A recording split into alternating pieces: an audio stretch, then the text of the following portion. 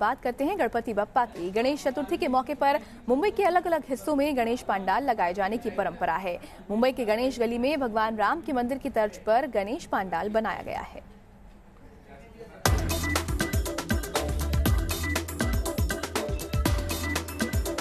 तस्वीरें मुंबई के मशहूर लालबाग के गणेश गली के पांडाल की हैं। इस बार पांडाल को राम मंदिर का रूप दिया गया है। अयोध्या में बनने वाले भगवान राम के मंदिर के तर्ज पर इस पांडाल को तैयार किया गया है। यानी इस बार गणेश गली के राजा रामावतार में दिखेंगे। इस बार राम मंदिर बनाया गया है।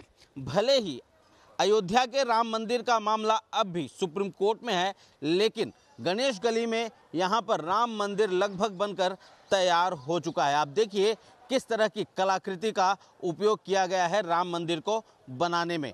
राम मंदिर के अगर पिलर्स की बात करें तो इस पिलर्स में अलग अलग किस्म की नक्काशी वो देखी जा रही है। इसके अलावा दीवारों पर अलग अलग तरह के भगवानों की जो मूर्ति है, वो यहाँ पर लगी हुई यानी कि एक भव्य राम मंदिर का निर्माण जो है, वो मुंबई में किया गया है। हर तरफ़ जहाँ पे नज़र जाएगी, वहाँ पे सिर्फ़ और सिर्फ़ भगवान राम, लक्ष्मण और माता सीता नज़र आएँगी। देखिए, किस तरह का यहाँ पे तस्वीरें किस तरह की लगाई गई हैं, वो हम दिखा रहे हैं इस वक्त।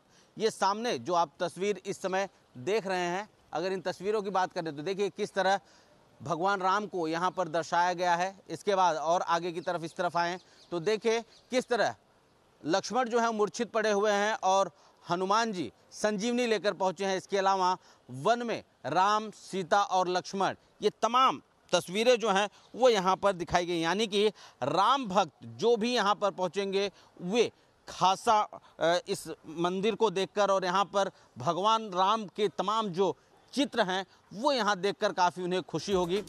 राम मंदिर के पांडाल को तैयार करने के लिए 70 मजदूर पिछले 45 दिनों से दिन रात काम कर रहे हैं। पांडाल को बनाने में करीब 45 लाख का खर्च आया है। इस बार पांडाल को राम मंदिर के रूप में न केवल गढ़ा गया है बल्कि गणेश की प्रतिमा भी भगवान राम के रूप में होगी। इस बार लालबाग सरोवर उत्सव मंडल गणेश गली। भगवान श्री राम का प्रतिरूप जो अयोध्या में राम मंदिर है, वो बना रहे हैं। और जो गणपति का रूप रहेगा, वो भी भगवान राम राम जी का ही रहेगा।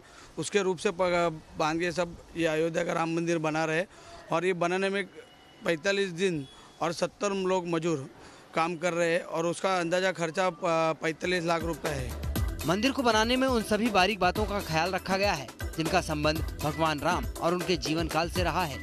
पंडाल में बने पिलर्स को खास तौर पर तैयार किया गया है पिलर्स पर ज़बरदस्त नकाशी की गई है साथ ही भगवान राम, माता सीता और लक्ष्मण से जुड़ी तस्वीरें भी लगाई गई हैं। इस बार जो राम के भक्त हैं, उन्हें काफ़ी सुकून मिलेगा क्योंकि भले ही आज तक उन्होंने राम मंदिर का नाम सुना होगा, लेकिन गणेश गली पहुंचकर उन्हें वास्तव में राम मंदिर का नज़ारा देखने को मिलेगा और यही वजह है कि इस राम मंदिर को लेकर लोगों में उत्सुकता भी देखी जा रही है।